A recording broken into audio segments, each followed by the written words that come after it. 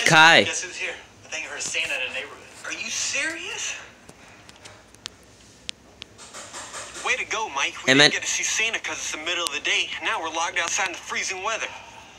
Don't look at me. It's not my fault. You were the last one out. Was not. You were too. Was not. You were too. Was not. Did you hear something? Merry Christmas! that was a small chimney. so warm in here. So cold out here. Let me in, you, jerk. Hey! Hey! Can't hear us. You want to shut up laughing? That hat he's wearing makes me sick. It seriously makes me want to throw up. I need some more firewood.